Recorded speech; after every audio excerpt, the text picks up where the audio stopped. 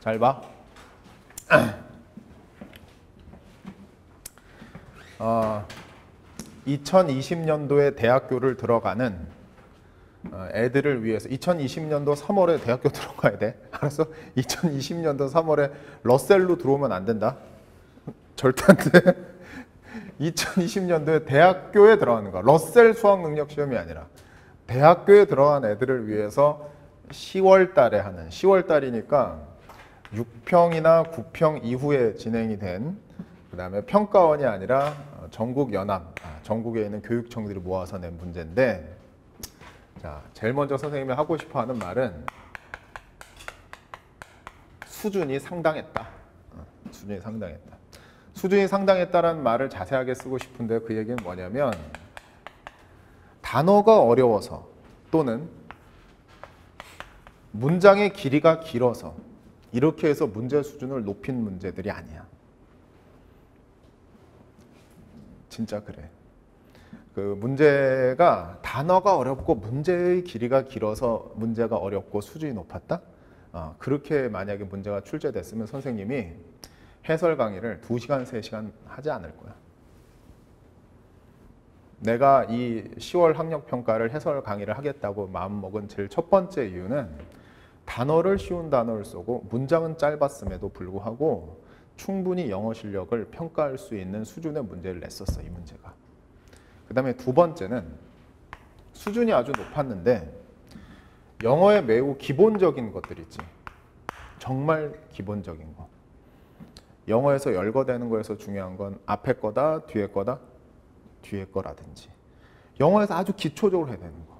주절과 종속절 중에서 중요한 건 주절이야, 종속절이야. 주절이거든. 글의 흐름을 물어보는 순서 문제, 전체 흐름, 글의 흐름 이런 문제는 흐름이라는 거는 종속절끼리 흐름을 맞추는 게 아니라 주절끼리 흐름을 맞춰야지 되는 거거든. 그게 아주 자명한 영어의 기초적인 베이직인데 시중에서 파는 문제집들 중에서는 그런 게 안 맞춰져 있는 허접한 지문을 갖다 써서 써서 문제를 출제하는 경우가 상당히 많은데 이번 10월 전국 학력 평가 문제는 그러한 베이직이 철저하게 지켜졌음에도 불구하고 단어랑 길이를 그렇게 어렵지도 않고 길이도 짧게 했음에도 불구하고 수준을 잡았어. 그래서 문제 수준이 정말 좋았어. 그 다음에 세 번째는 일관성이야. 일관성은 뭐냐면 빈칸이 첫 번째 문장에 있거나 뭐 글의 흐름은 이렇게 푼다, 전체 흐름 이렇게 푼다라는 이 우리나라 기출 문제에서 늘 유지되고 있는 그 일관성 있지? 그 일관성 다시 EBS도 그랬고 평가원 기출 문제도 그랬고 그 다음에 지금 얘기한 10월 학력 평가 그리고 우리나라 모의고사에서 가장 중요한 킹콩 모의고사랑 해서 합쳐서 그 일관성을 그대로 유지하면서 문제 수준을 상당히 높게 잡았어. 오케이? 어. 그리고 네 번째. 선택지가 예술이야. 선택지가 수동태, 수동태, 능동태, 능동태 하면서 어, 패러덕스의 의미. 아까 얘기했었잖아. 그런 거. 오케이? 그리고 네 번째. 선택지도 좋았고, 그 다음에 다섯 번째.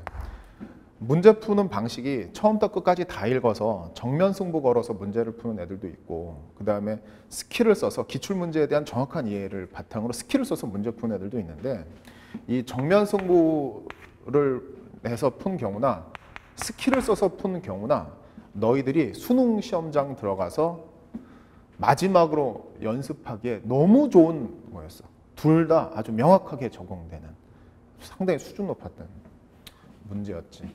알았어? 그래서 내가 마지막으로 하고 싶은 얘기는 지난 6평, 9평에 성적이 안 좋았다고 하더라도 10월 이번 시험에서 성적이 좋았으면 본인의 영어 실력이 꽤 많이 올라갔고 어, 6평, 9평을 좀 뭐 무시하더라도 어, 9, 10, 10월 이 학력 평가 이거만으로 너희들이 아 나는 이 부분이 잘 됐구나 6평, 9평만큼의 가치가 있는 문제였다.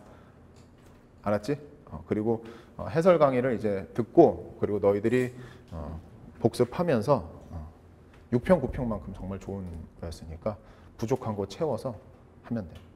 알았지?